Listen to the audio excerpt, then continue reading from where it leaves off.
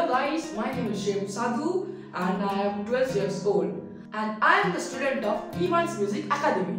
This is the song River flows in you. Thank you.